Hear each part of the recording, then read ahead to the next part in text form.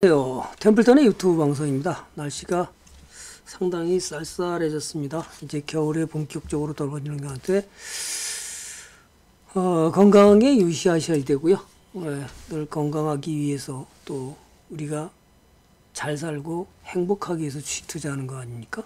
그렇다면 우리는 주식 투자해서 돈을 벌어야 되고 시장은 나쁘지 않습니다. 지금 오늘은 좀 조정을 했죠.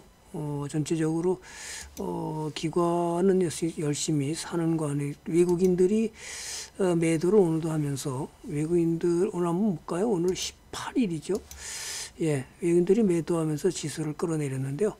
뭐 나쁘지는 않고 코스닥은 양쪽이 다 샀습니다. 예. 거래량은 별로 터지질 않았지만 지수가 예, 약보합으로 다 마감했어요. 그래서 오늘 신고가 냈다 내려왔죠. 미국 시장은 뭐 미국 중 무역 전쟁에 대한 그 기대감이 점점 커짐으로 인해서 이 엄청나게 올라갔죠. 지금 뭐 다우존스 신고가에 나스닥 신고가, 그다음에 S&P 신고가, 반도체까지 신고가 전부 신고가입니다. 자, 우리만 지금 그다음에 오늘 또 재밌었던 것은 어 트럼프 대통령이 북한과의 12월 달에 빨리 좀 만나자. 합의를 끝내자 이렇게 얘기하는 얘기 때문에 어쨌든 이런 저기 어, 대북 수혜주들이 좀 움직였죠. 음, 부산 산업이라든지 그죠? 또 대아티아이라든지 현대로템이라든지 그다음에 현대 엘리베이터 이런 것들은 뭐 많이는 못 올라갔지만 음, 현대 엘리베이터 예, 그 다음에 모르겠어요. 다른 옷장사는 제가 잘 보지를 않아 갖고 좋은 사람들이라든지 뭐 이거는 다 그 개성공단 수혜주도죠. 저는 뭐 그 다음에 뭐 또 신원이라든지 이런 것들이 많은데요.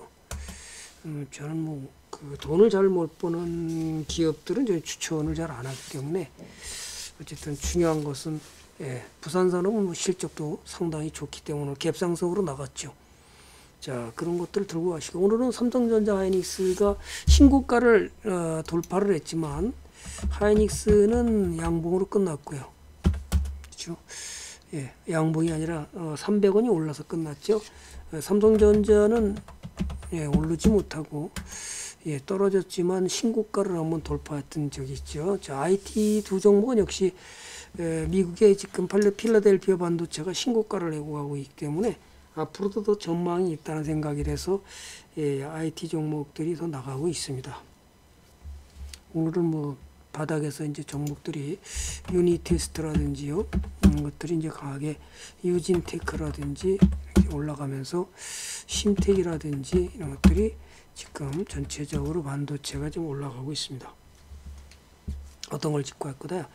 역시 올해 뭐 실적이 굉장히 스마트폰 갤럭시 S10, 갤럭시 S foldable 폰, 갤럭시 노트 예, 10 이렇게 해서 어, 상당히 실적이 좋고요. 또 하나가 인도에서 저가폰 어, 수요가 음, 커지고 있는 것이 지금 샤오미가 인도 저가 폰의 그 1등 점유율인데요. 우리나라 갤럭시 A와 갤럭시 M이 또 이렇게 좀 저가 폰으로다가 카메라가 뒷면이 3개씩 설치가 되어 있더라고요. 이것이 아마 어, 중국을 누를 것이다 이런 예측이 나오는 뉴스를 봤습니다. 어쨌든 상당히 지금 2위인데요. 예, 1위 했다가 밀렸지만 어쨌든 다시 또 이 저가 폰에 대한 기대감 그것이 삼성전자의 스마트폰 수혜주로다가 카메라가 삼성전자가 이제 가장 두 개를 했죠. 재밌는 것은 여러분이 알다시피 그 고노다라 외상이 우리나라 무역보복을 하고 기자들이 이제 질문을 했을 때 거꾸로 웃으면서 어, 당신네들 카메라가 전부 다 와서 자세히 보면서 다 일제 카메라 아니냐 그죠? 그렇게 얘기를 했는데 아, 지금은 그런 시대를 떠났죠. 삼성전자는 재빠르게 이제 카메라의 성능으로서는 이제 돈을 벌 수 없다라는 사실을 알고 실제로 미국, 일본의 니콘이라든지 이런 그 카메라 회사들이 지금 실적 부진으로 계속 이어지고 있죠. 그것을 삼성테크인에서는 빨리 사업을 접고 잽싸게 이제 움직였던 것이 스마트폰 카메라 종목들입니다. 따라서 이미지 센서도 1억 800만 화소를 만들어가고 있는 중에 일본은 아직도 과거 1985년도의 영광에 젖어서 미래를 내다보지 못하는 안타까운 현실을 저는 보고 있습니다. 여러분도 그걸 잘 살펴보면 이렇게 해서 일본이 지금 이번에 재밌는 뉴스 하나 보여드릴까요? 지금 그동안에 우리나라를 압박하고 아우성 쳤던 일본이 1년에 벌어가는 양이 보통 그, 어, 무역 적 흑자가 200억, 200억 달러가 되더라고요. 근데 올해는 역대 최저로다가 1월부터 10월까지 영업이익 적자, 아니, 그 무역, 어, 대일본 무역 수지가 적자가 우리가 음, 18일 기준으로 해서 163억 6,600만 달러로 지난해 같은 기간에 206억 1천 거의 200억이 넘는 그래서 매년 이렇게 많이 200억 달러를 이상을 벌고 왔던 일본이 이번에 에, 어, 참 엄청난 좋은 일을 벌려서 그죠 수출 규제를 함으로써 오히려 우리나라 무역 적자를 갖다가 많이 감소하게 만드는 일조를 해준 게 아니냐. 어쨌든 다른 나라로 수출 수입이 더 되고 수출이 더 되면서 이제 좋아지기를 이제 희망해 보면서 일본인들이 자기 발등을 찍은 게 아닌가. 예, 소재 부품 장비 소부장이라고 그러나요? 분야의 강력한 강화 대책이 성공하면서 우리 정부가 대일 무역 적자 흐름이 바뀔 수 있지 않을까 이런 기대감이 점점 커졌습니다. 엄청나게 한국에서 노다지를 캐가던 일본이 바보 같은 짓을 했죠. 어, 맥주 불매 운동으로서 역시 하이트 진로가 신고가량에서 이번에도 상당히 실적이 earning surprise 났죠. 이런 것들이 일본 스스로가 자기 발등을 자기가 찍은 겁니다. 하이트 진로 그죠? 이런 것들을 보면서 상당히 아쉬워 하는 것은 아닙니다. 저는 오히려 어쨌든 이 위기를 갖다가 극복해서 더 좋은 길로 지난번에 또 WTO 대한 그 규제 WTO 제소에 대한 일본이 아 제스처를 쓰기 위해서 16일 날 토요일 날 에칭가스를 삼성전자와 하이닉스에 납품한다는 뉴스 때문에 오늘 예, 후성이라든지 솔브레인이라든지 이런 종목들이 예, 떨어졌습니다만 어쨌든 뭐 나쁘다기보다는 어쨌든 우리 기업으로서는 또 다른 어떤 돌파구를 마련해주는 계기를 마련해준 게 아닌가 이렇게 상당히 뭐 나쁘게 보냐 중장기적으로는 더 긍정적으로 볼 수 있는 기회가 열리는 게 아닌가 이렇게 보여집니다. 어쨌든 일본은 뭐 상당히 어, 우리 기업에 대한 그 강력한 규제로 인해서 자기네가 반사적 이익을 누릴 것 같지만 더 큰 손실을 입고 있다는 사실을 우리는 관심을 가져야 되고요. 자, 그 스마트폰 수혜가 인도 시장에서 삼성전자가 중국에서 어, 스마트폰 두 공장 두 개를 철수하면서 인도에 가고 베트남에 집중하면서 무슨 일이 벌어지는지 자 그러면 앞으로도 더 희망이 있게 되는 종목들이 뭘까요? 역시 스마트폰에서 카메라 수혜주들이 오늘도 강력하게 나갔죠. 옵트론텍이 역시 정고점을 돌파하면서 그동안 조정을 갖다 무색할 정도로 갑자기 급등해졌고요. 자, MC넥스도 올랐고요. 그죠? 파트론 그죠? 이런 것들이 전체적으로 올라가면서 이제는 다시 반등의 기회를 마련한 게 아닌가 이렇게 봐서 여러분은 음, 어떤 걸 잘 들고 가실지 굉장히 어떤 거든 상관없죠. 그죠? 자, 카메라 종목들이 반등을 강하게 하면서 좋은 일이 벌어지지 않을까. 나머지는 뭐 전체적으로 실적 개선주들만이 강하게 올라간 게 아닌가. 그래서 보면 역시 예, 음식료에서는 전부 다 힘을 못 쓸 때 삼양식품은 예, earning surprise 가면서 계속해서 신고가 행진을 가기 위해서 가고요. 바이오 종목은 역시 한올바이오가 예, 이제 반등을 하려고 그러고요. 그죠?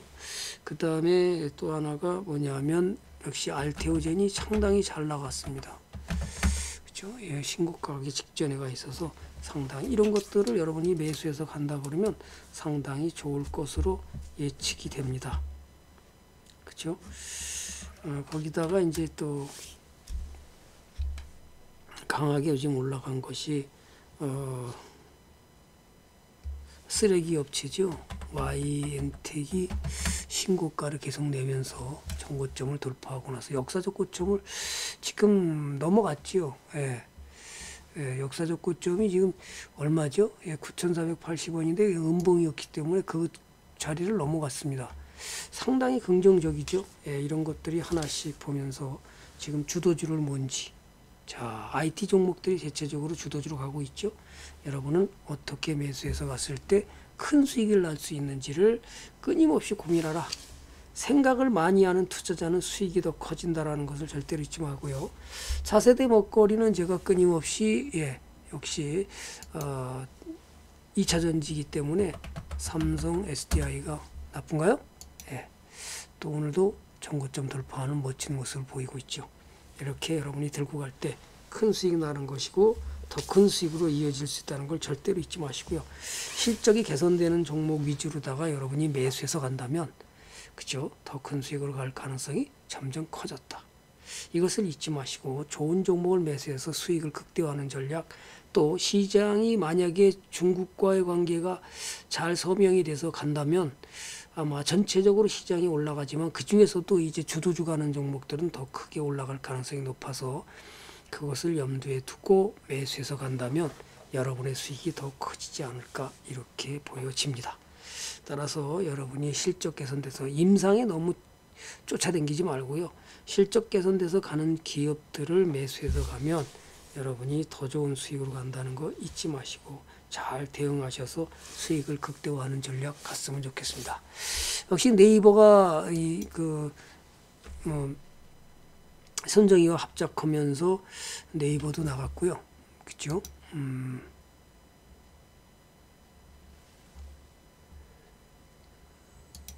그 다음에 역시 신고가를 낸 종목은 역시 예, 카카오가 잘하고 있습니다. 그죠? 신고가를 오늘도 멋지게 내서 수익이 점점 커졌습니다. 어유 전문가님 더 살까요? 자, 여기서 추천 나갈 때는 안 사고요. 그죠? 계속 추천 나갔습니다. 예, 추천 나갈 때는 안 사고 이렇게 올라오니까 사고 싶은 욕망이 생기는 거죠. 자, 추세 전환하면서 나갈 때 틀림없이 사야 되는데 이때는 못 삽니다. 그죠? 이때 사면 얼마나 좋아요? 그죠? 이렇게 뭐 신고가 내면서 멋지게 나가는데 아쉬워하는 거예요. 이제 더 사고 싶다고. 참, 이거 이렇게 하는 것은 결코 바람직하지 않죠. 자, 이런 것은 언제나 예, 추세 전환 나고 나가고 이어질 때 여러분이 추가 매수해서 수익을 극대화하는 전략. 시장은 상승장으로 갈 가능성이 점점 커졌기 때문에 여러분은 지수에 너무 연연하기보다는 좋은 종목이 시장 상승할 때 따라가기 때문에 그것을 잘 이용해서 이번 장에 정말 부자 되는 장이 됐으면 좋겠습니다. 자, 좋은 종목은 오늘도 강한 상승을 이어졌으니까 시장이 하락해도 불구하고 더 나갔다는 사실을 잊지 마시고 강력하게 들고 와서 수익을 극대화하는 전략 절대로 잊지 마시기 바랍니다. 자, 오늘은 짧게나마 여러분이 시장의 종목이 어떤 종목이 나가는지 또 그 종목을 매수해서 얼마나 잘 들고 갈지를 고민하고 또 고민해서 잘 보유한다면 수익은 극대화 전략으로 갈 수 있다는 것 절대로 잊지 마시고요. 좋아요, 구독은 선택이 아닌 필수로 해주시면 저한테 너무 감사하죠. 그죠? 자, 여러분이 또 공부가 부족한 사람들은 어떤 종목을 매수해야 될지 부실 종목을 매수해서 아파하는 그런 거 하지 마시고요. 부실 종목도 나중에 뭐 좋은 일이 벌어진다. 좋은 일이 벌어지면서 또 사도 여러분은 늦지 않다는 걸 절대로 잊지 마시고요. 네. 부실 종목으로 인해서 아파하는 그런 투자자는 저는 원치 않습니다. 저는 좋은 종목을 꾸준히 들고 가서 부자 되는 길은 역시 실적이 개선돼서 갈 때 그 기업이 주도주로 가고 멀리 멀리 갈 수 있다는 사실을 열대로 잊지 말았으면 좋겠습니다. 오늘은 여기까지 하겠습니다. 감사합니다. 모두 모두 수익 나는 그날까지 함께 하겠습니다.